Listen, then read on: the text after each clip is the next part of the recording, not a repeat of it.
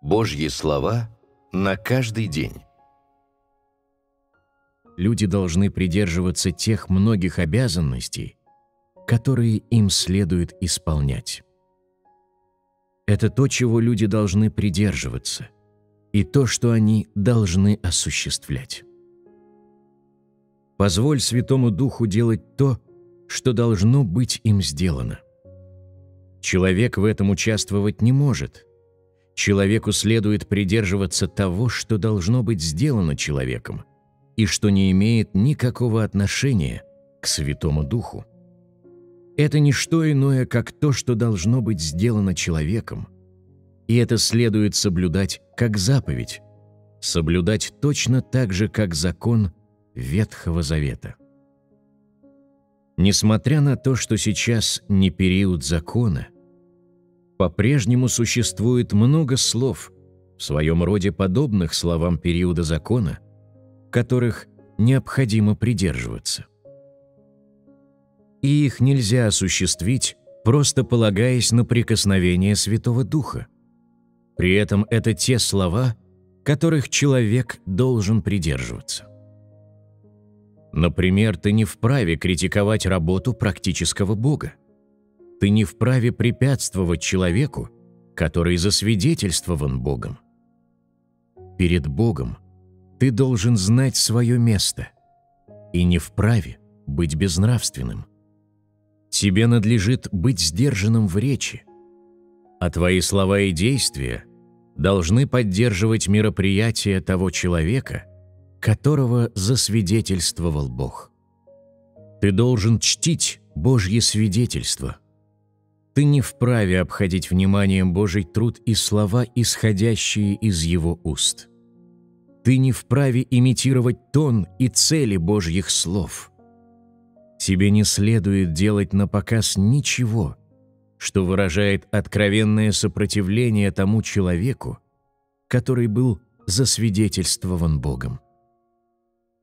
Этого и еще многого другого должен придерживаться каждый человек.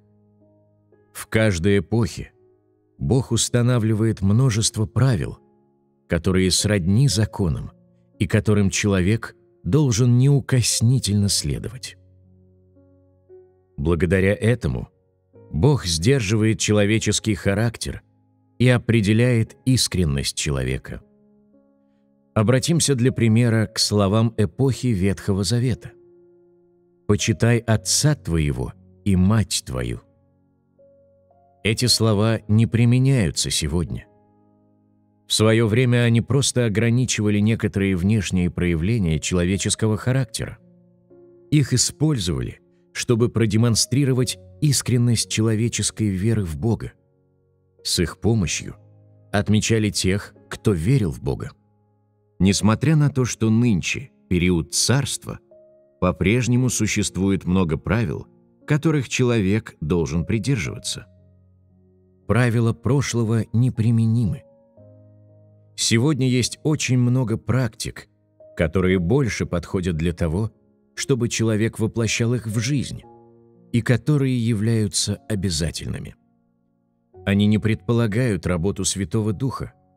Человек сам должен притворять их в жизнь.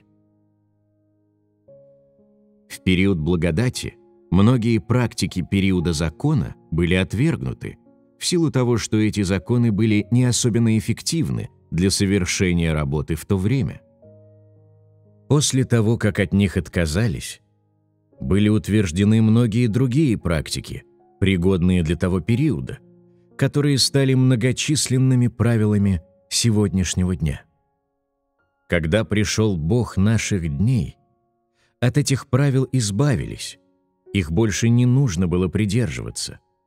Было предложено множество других практик, подходящих для труда сегодняшнего дня. В настоящее время эти практики не являются правилами. Они предложены всего лишь для достижения необходимого эффекта. Они соответствуют сегодняшнему дню, а завтра, возможно, станут правилами.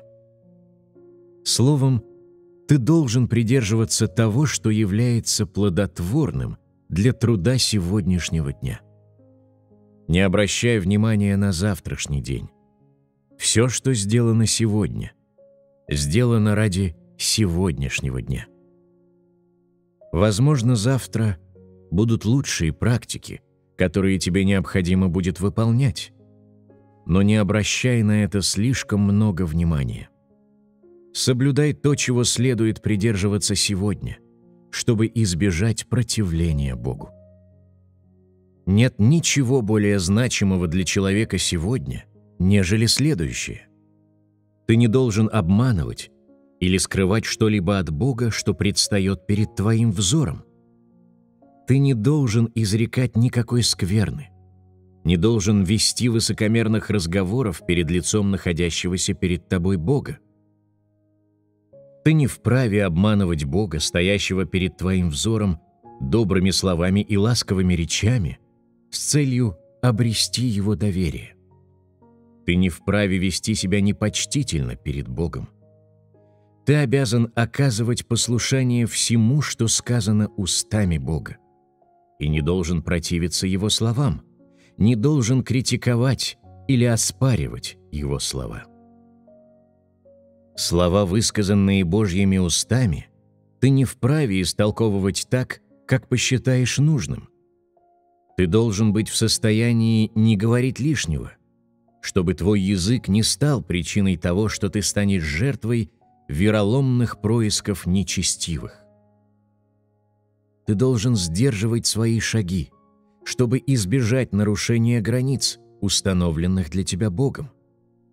Подобное поведение с точки зрения Бога побудит тебя изрекать высокомерные и напыщенные слова, а значит стать тем, кто будет отвратительным для Бога.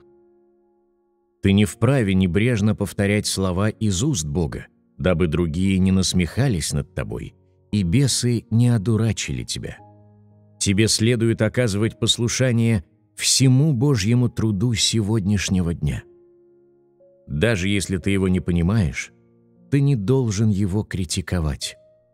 Все, что ты можешь делать, это стремиться и общаться. Никто не вправе нарушать границы исконного пространства Бога. Ты можешь лишь служить Богу сегодняшнего дня с позиции человека. С позиции человека – ты не можешь учить Бога современности. Делать так является заблуждением. Никто не может заместить человека, засвидетельствованного Богом. В своих словах, действиях и сокровенных мыслях ты стоишь на позиции человека. Это должно неукоснительно соблюдаться. Это является ответственностью человека – Никто не в состоянии это изменить.